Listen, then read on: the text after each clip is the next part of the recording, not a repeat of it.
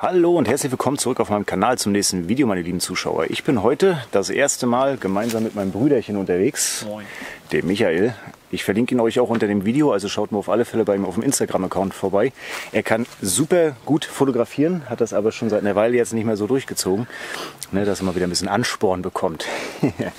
ja, wir sind heute unterwegs und zwar, also im Moment mitten in der Natur, aber wir sind auf dem Weg zu einem Bunker.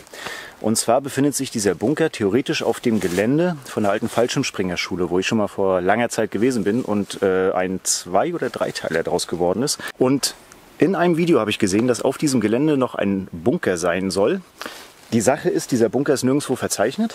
Ähm, und auch während meiner Recherchen damals über dieses Video habe ich nichts über diesen Bunker erfahren. Also es soll ein Atomschutzbunker sein. Ich weiß nicht wie groß. Ich habe ungefähr eine Idee, wo er sein könnte. Und ich möchte euch jetzt gerne mitnehmen auf die Suche und wir schauen jetzt mal gemeinsam, ob wir dieses Ding finden und wenn ja, wo er sich befindet. Also viel Spaß, los geht's.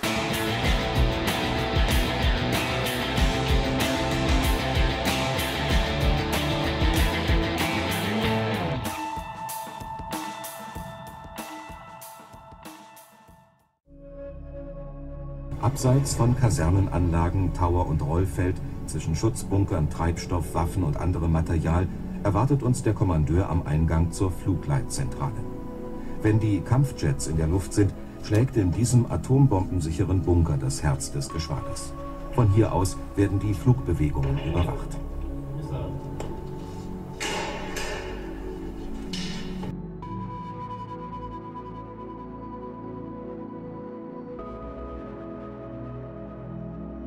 folgen jetzt hier immer weiter diesem Weg ja, wie man sehen kann, mitten durch die Natur. Also laut der Karte soll sich dieser Bunker, also was heißt soll sich, habe, habe ich die Idee, dass dieser Bunker sich in dieser Richtung ungefähr befindet. Es sind von oben halt ja, Bereiche zu erkennen, wo sich auch teilweise Gebäude befinden bzw. befunden haben können. Und das ist ja auch immer schon mal so ein Anzeichen, wo dann auch ja, Bunker gewesen sein können.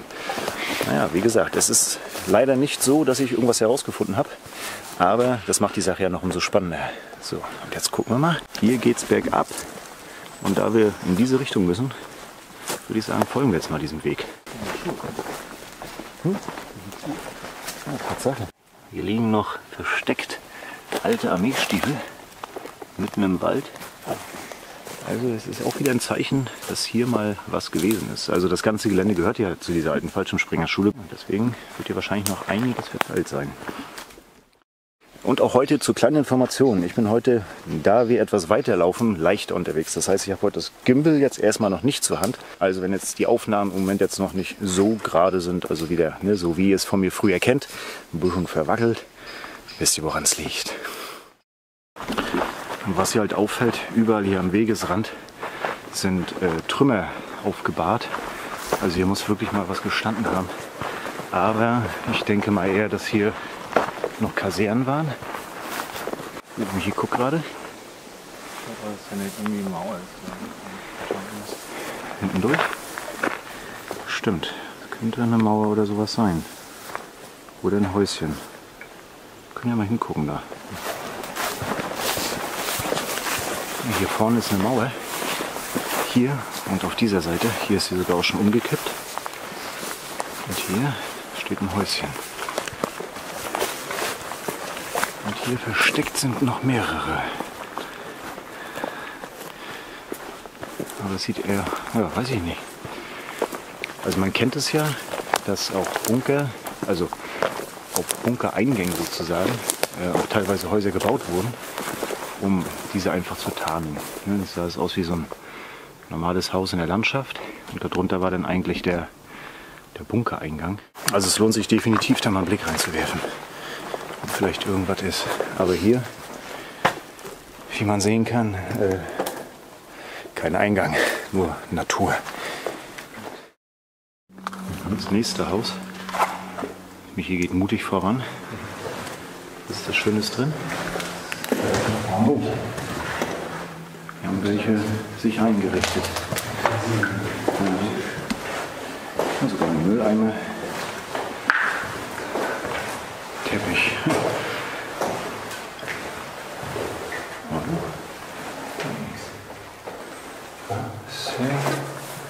Aber scheint gemütlich. Hier, guck mal.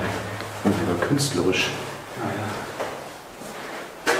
Sieht aus wie so ein Weihnachtsbaum. Ja, hier ist wieder. Habt ihr schon mal, kennt ihr das Geräusch von Schmetterlingen?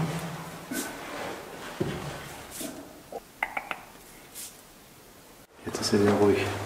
Hast du gehört? Ein bisschen so ein Wischen oder was? Ja. Ich weiß nicht, ob sie das machen, um sich zu trocknen oder aufzuwehren.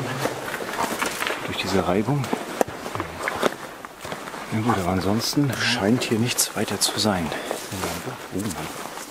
Die haben sich ja hier wirklich häuslich eingerichtet. Also hier noch mit einem Lämpchen. Naja, gemütlich.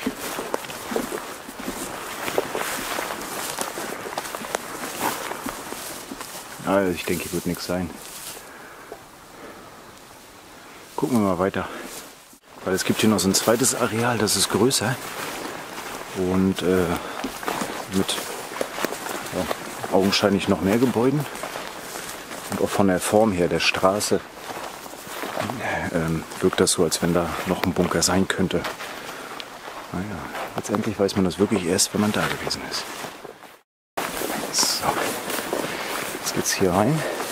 Da hinten ist sozusagen hat ein Gebiet, wo mehrere Gebäude auch verteilt sind und mehrere Wege in so einer Kreisform angelegt sind. Und das war ja früher auch so die typische Bauart von diesen Geländen sozusagen. So, hier im Wald versteckt, richtig schön eingewachsen das ganze Ding.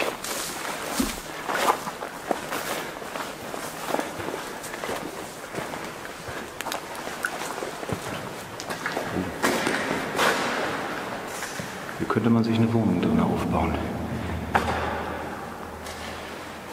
Aber kein Atomschutz. Eieiei. Ja. Und hier auch. Oh, hier riecht es nach Benzin. Alles Mögliche hier. Meine Güte. Aber wer fährt hier hin und schmeißt das alles hierher? Also, zumindest die Fahrt hierher ja schwieriger, irgendwo anders zu entsorgen.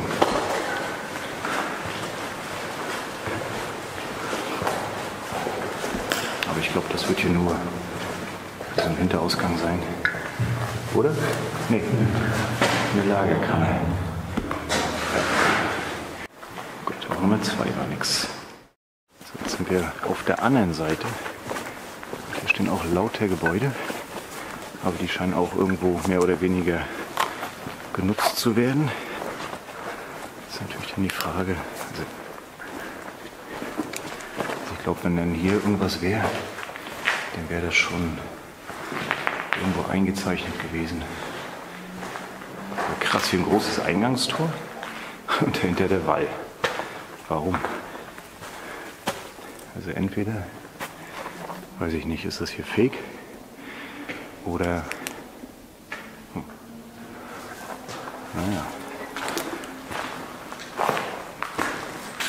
Aber hier hat sich auch wieder jemand entledigt seiner Sachen, ne? Oh. oh. Siehst hier kommt, kommen LKW-Sammler auf ihre Kosten.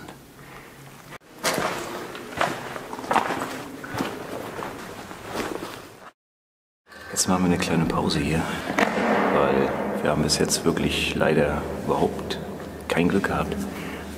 Also die Gebäude, die hier stehen, habt ihr ja selber gesehen, die sind alle leer. Also das müssen wir irgendwelche ja, ähm, Garagen oder sowas gewesen sein. Jedenfalls äh, kein Bunker.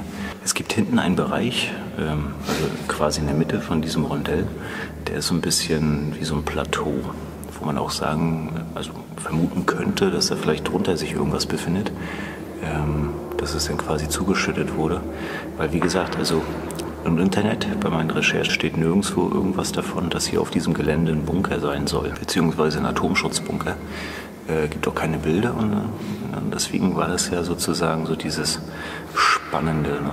ähm, zu gucken, gibt es ihn wirklich nicht oder hat ihn bloß noch keiner entdeckt. Aber so wie es jetzt im Moment aussieht, ist es ersteres, dass es den halt nicht gibt. Naja. Mal gucken. Manchmal entdeckt man sowas ja durch Zufall. Er kämpft sich durchs Gestrüpp, um zu schauen, was sich da oben befindet. Betonpfähle noch mehr oder? Nee, da geht halt ein Weg entlang. Dann komme ich mal hoch. Es gibt ja nichts Schöneres, als durch die Natur zu laufen. Oh, ah.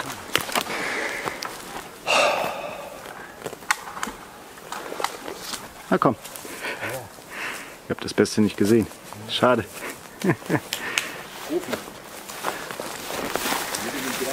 So sieht das aus, wenn mein Bruder in der Natur unterwegs ist. Der halbe Berg ist umgepflügt. Ganz unauffällig. Ja, ja. Ich füge mich ein. Es könnte auch ein Wildschwein gewesen sein. genau. Oder ein wildes Michi.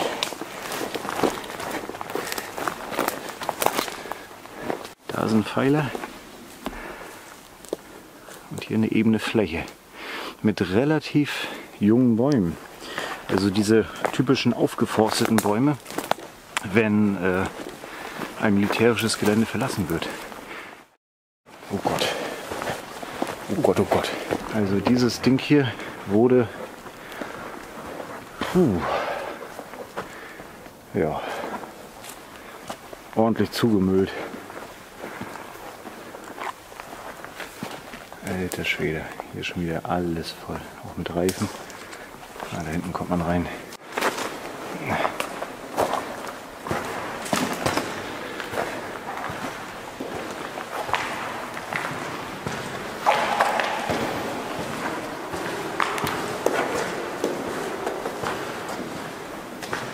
Geht's da weiter?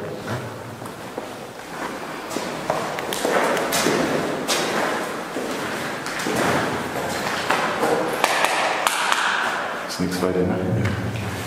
Hängt nur so ein. Ja, genau. Da geradezu ist auch noch ein Gebäude.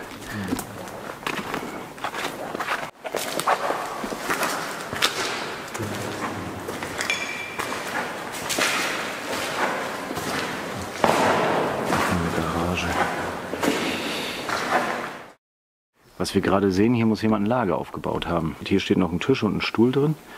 Und hier vorne hat auch jemand irgendwas sowas wie einen Tisch gebaut. Eine Sitzmöglichkeit. Und hier diese, diese Äste, die hier rumgehen. Ne, hier. Und dann geht es hier weiter. Da ist es befestigt. Und hier vorne ist es da befestigt. Und da hinten aufgelegt. Das muss hier eine Sicherung gewesen sein. Hier war dann der Durchgang. Und sozusagen, dass hier die Person, die hier drinnen war, oder waren, waren vielleicht auch mehrere, abends keinen ungebetenen Besuch bekommen. Will man ja nicht. Leute wie uns zum Beispiel, die dann da plötzlich da vor denen stehen. Jetzt sind wir an einem relativ seltsamen Ort. Also in der Mitte ist ein Tümpel. Äh, Und hier ringsrum geht ein Wall. Ein hoher Wall. Ähm, Die Frage ist jetzt, ist er natürlich oder wurde er angelegt? Weil dieses ganze Gelände ist irgendwie seltsam aufgebaut. Als wenn hier irgendwas getan werden sollte. Ähm, aber durch diese Aufforstung, die hier stattgefunden hat. Oh, jetzt ist hier direkt ein Motorrad neben uns.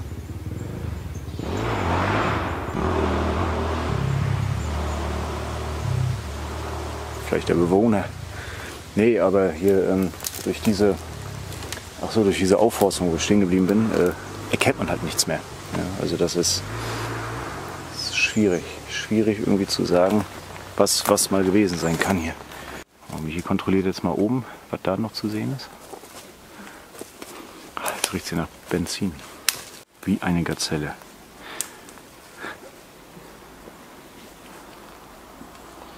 Das hört sich schon interessant an. Zeugs im Erdboden. ja, ist halt nicht normal.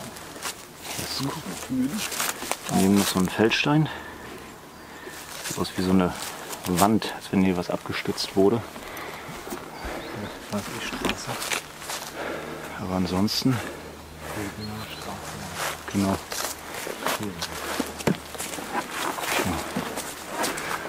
Also es kann vielleicht auch sein, dass hier das Gebiet, wo wir jetzt gerade drin waren, so ein Sicherungsgraben noch gewesen ist. Vielleicht so ein Verschlag, wo sie drin gesessen haben. Waffen. Wache, Wache oder so. Kann auch sein, ne? Genau. Naja. So, meine Lieben, wieder am Auto angekommen. Hier vorne steht das gute Stück. Wir sind hier wieder in der Nähe der alten Hangars ne, und der, der Fallschirmspringerschule. Da hinten kann man das auch sehr gut sehen. Tja, leider hat es heute nicht geklappt mit dem Bunker. Aber meine Lieben, ich bleibe definitiv dran, werde recherchieren. Und wenn ich weiß, wo das Ding sich befindet, beziehungsweise eine neue heiße Spur haben sollte, seht ihr es natürlich als allererstes. Gut, meine Lieben, ich hoffe, das Video hat es euch gefallen. Wenn es das getan hat, dann lasst mir ein kleines Däumchen da, würde ich mich riesig darüber freuen. Und wenn alles gut läuft, sehen wir uns in zwei Wochen wieder. Bis dahin wünsche ich euch nur das Beste. Passt schön auf euch auf, bleibt richtig ordentlich gesund und dann bis zum nächsten Mal. Ciao, ciao. Macht's gut.